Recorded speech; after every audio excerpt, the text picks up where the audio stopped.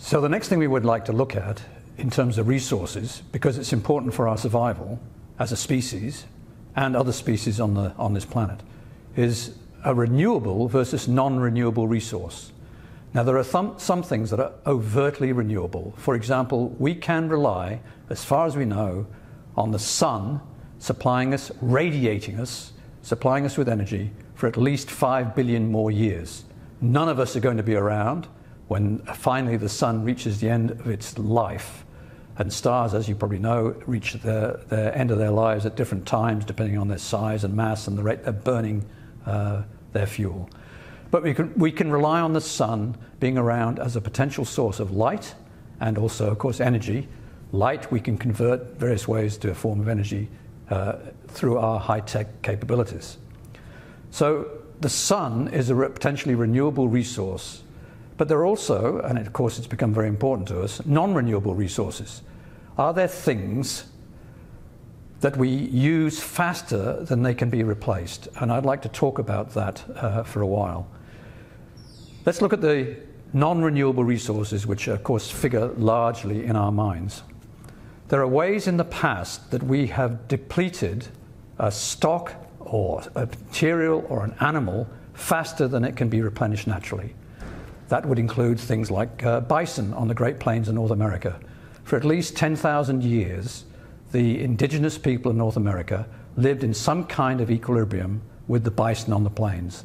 They killed them, they ate them, they uh, used their skins for warmth, for their accommodation. They lived side by side with the bison without apparently destroying the viability of the herds which were roaming the Great Plains.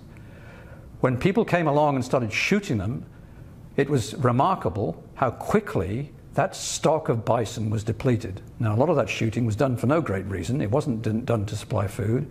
It wasn't done for any uh, great profound need.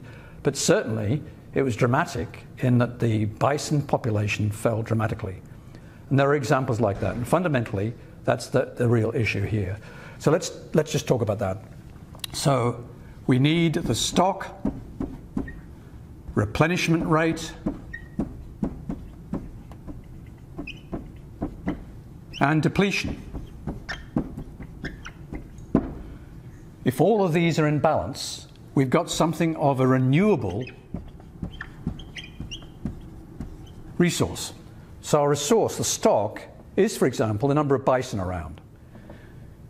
If they are naturally replenished at the rate that they uh, achieve without any interference from humans, that doesn't mean there's not interference from other sources like disease or predators that they would encounter before uh, Homo sapiens arrived on the Great Plains. As long as the replenishment is sufficient and overwhelms the depletion or is in some kind of equilibrium, the stock remains at some kind of uh, equilibrium level. When you look at this, in fact, we're right into what is known as predator prey theory. And that's a long running, uh, inter intellectually fascinating uh, line of investigation in the natural world and other environments as well. So, predator prey theory has a strong mathematical basis now. The equations are known in terms of the, these kind of parameters that I've written here.